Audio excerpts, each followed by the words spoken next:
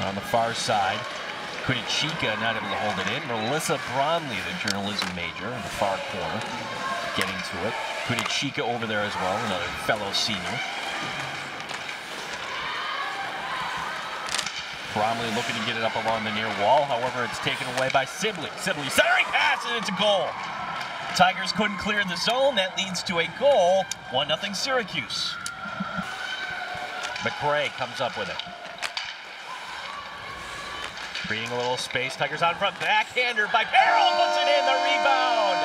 And the Tigers have tied it on the power play. Courtney Kunichika with the goal for RIT. That was a great power play goal. You see Marissa Majeri cycle the puck down. Kunichika passes it in front of the net as Patton throws it back over and Kunichika gets that shot and shoots it right in there.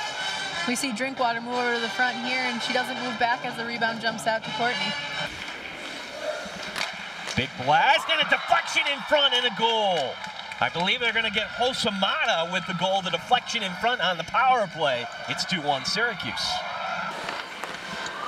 So the Tigers this period one for two with the power play. Thurston swings it over to Brown.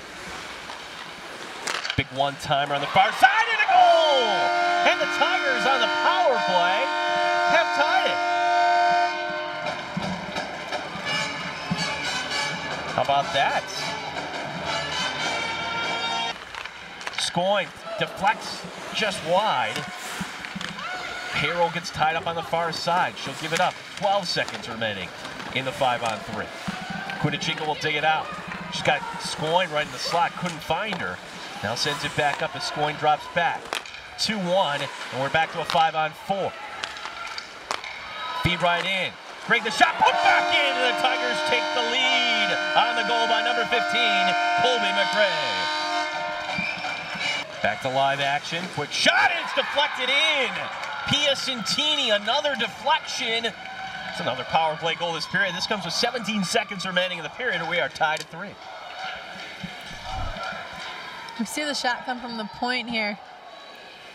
And it's deflected. I can't tell if it's off a stick or a body, but either way, it's deflected in the net behind Radcliffe.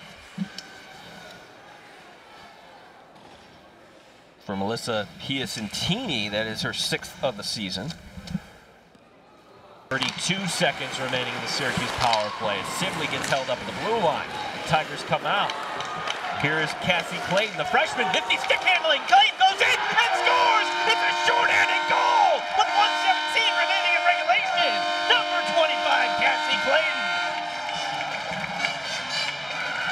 great move by Cassie Clayton. We'll see it on the replay here in just a second. She takes out that defenseman and goes to the glove side there. She just takes a nice crafty shot. It's a nice easy goal for RIT and it's on short-handed. So we had three power play goals and one short-handed goal for RIT today.